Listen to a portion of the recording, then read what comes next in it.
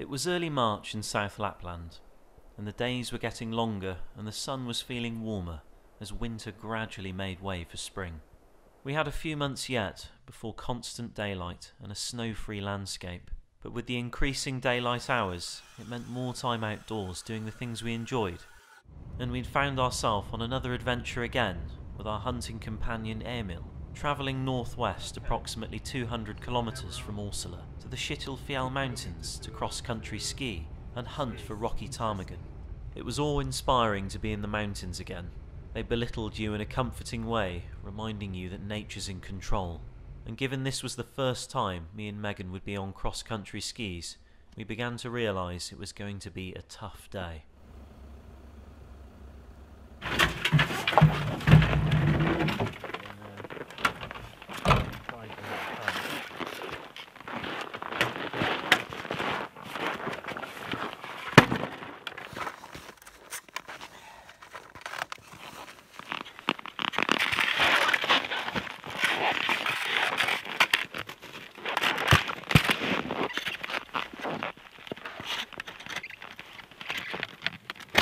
We spent some time configuring the skis to our boots. Earlier in the morning it was minus 24 degrees C, now rising to a pretty pleasant minus 10.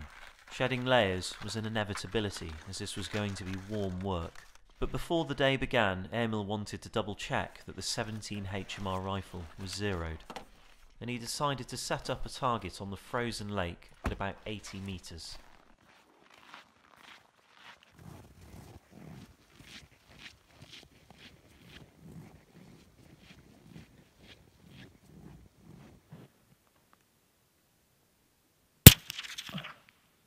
Emil was happy with the rifle, and the optics required no adjustment. A 17 HMR is an extremely small caliber, but very effective for the birds we were hunting. Anything bigger is not permitted in these mountains, as it's a popular destination for many outdoor activities. But we got packed up, had a quick brief of our destination, and prepped ourselves for some spectacular views and hard work, which more often than not go hand in hand.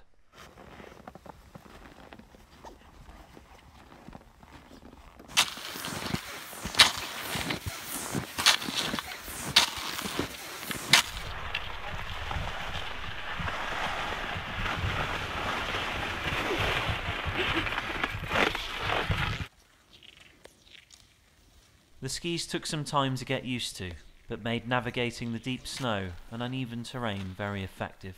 Inclines needed some effort, but at least the declines were easy enough. But the terrain was forgiving for two beginners at this point, and we had skied for about one hour, stopping periodically, as Emil began to formulate a picture of where we needed to be. And it was fairly evident from the species we were hunting and the direction we were heading in that things were going to get a lot more technical for our first run on the skis.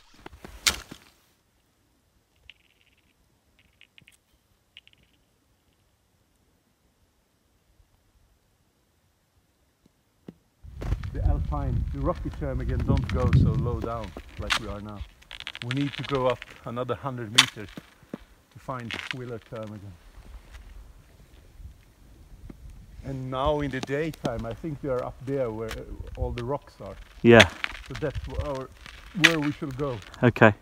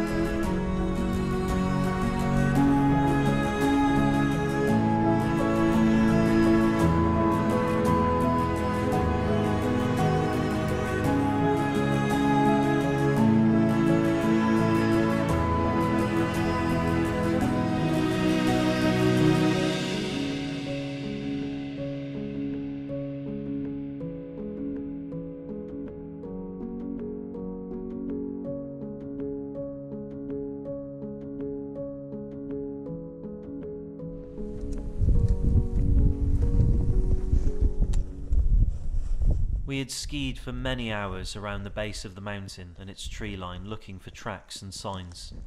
Emil had gone on without us, further up the mountain, but advised us that it was too icy for us to follow, and that we should stay below the tree line and wait for him to return.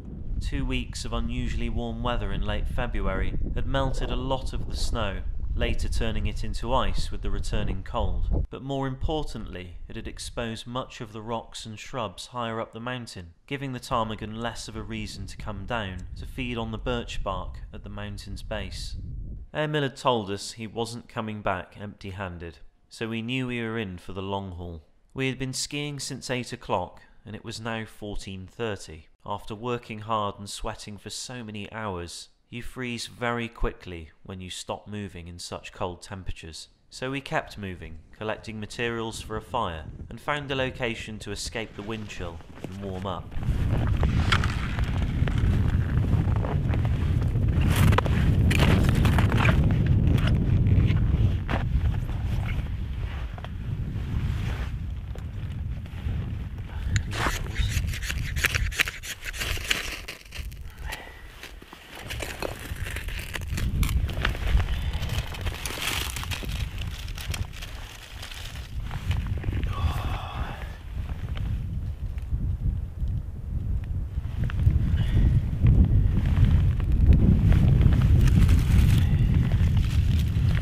As long as we shield it from this horribly cold wind, we should maintain the heat.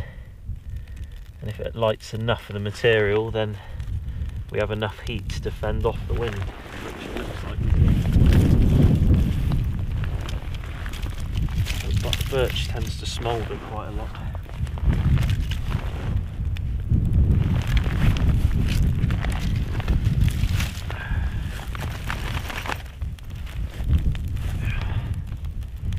Wind's coming through here now.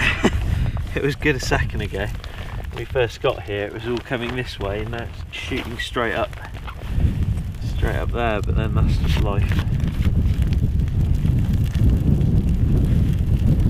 At Emil will know where we are now. We need more wood. You can keep your gloves on.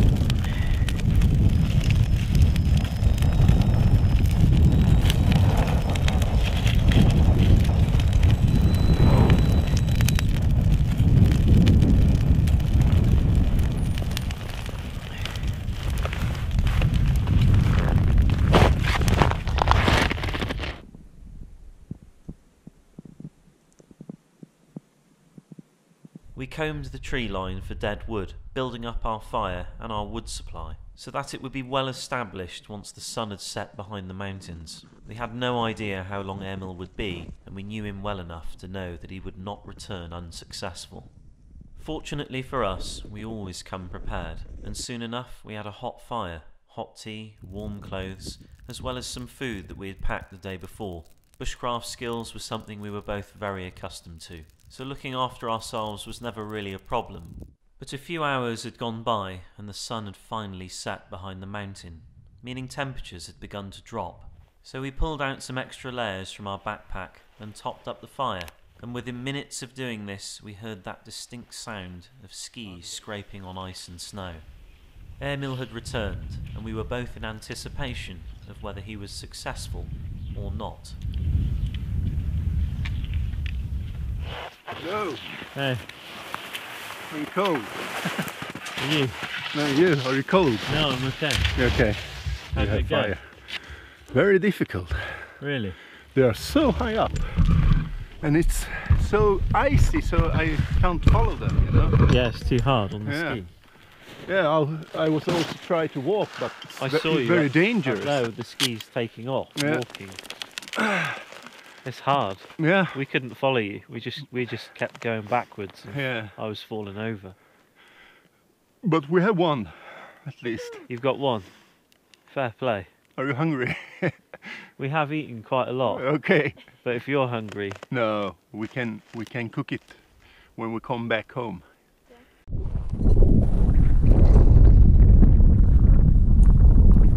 Emil showed us the bird, which was a nice sized male, which can be identified by the black colouring around the face. He also took out some smoked cheese, which had smoked capercaillie meat inside of it to cook for us on the fire, as well as some smoked reindeer meat that he carries on long trips in the wilderness. He ran a dairy company in Orsala that specialised in smoked meats and cheeses, which tend to go down very well when you've been out in the cold all day.